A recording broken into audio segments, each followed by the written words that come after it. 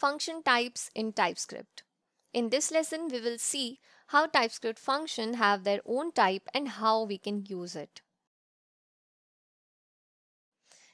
The type of the function is defined by the type of all the function parameters and the function's return type. Let us see how.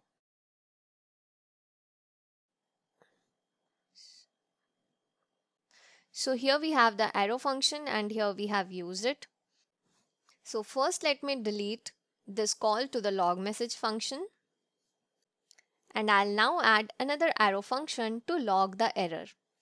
I'll just copy this and paste it here. And I'll name this log error. And here console.error.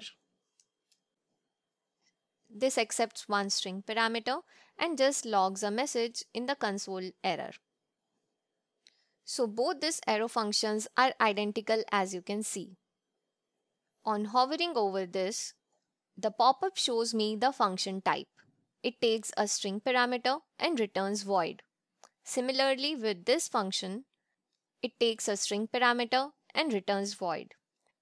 This is what we are calling as the function type.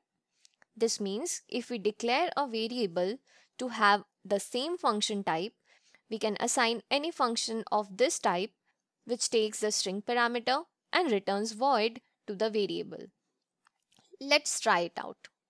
So here in my display score function, I'll declare a new variable logger and assign it the function type annotation that we just saw.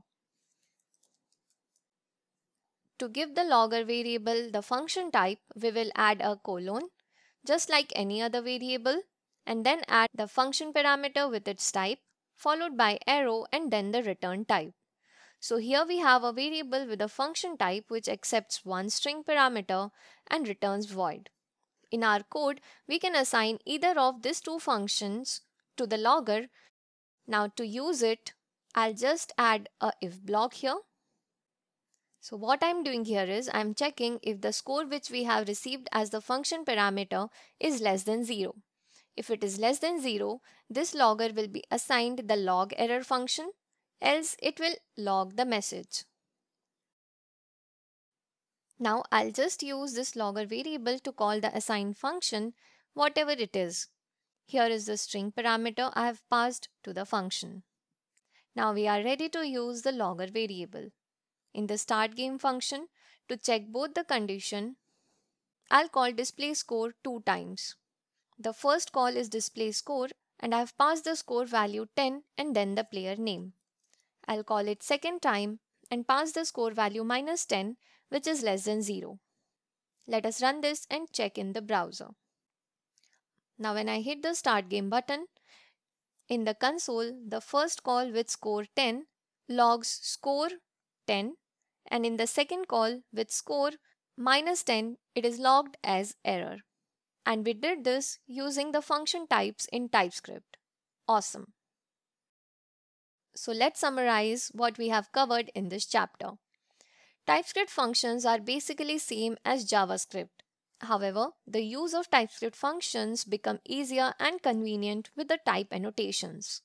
Adding the type annotation to the function parameters and the return values gives us a brief idea about the function at the first glance itself. We can even use the function types which are defined by the function parameters and the function return type. We can have the flexibility to use the optional parameter and default parameters where we can call the functions with fewer parameters and they will still have valid values. Arrow functions in TypeScript help us define anonymous function with clean syntax. So this was all about using TypeScript's built-in types for variables and functions so far. Let us now dive deeper into TypeScript to learn to create our own custom types using interfaces and classes.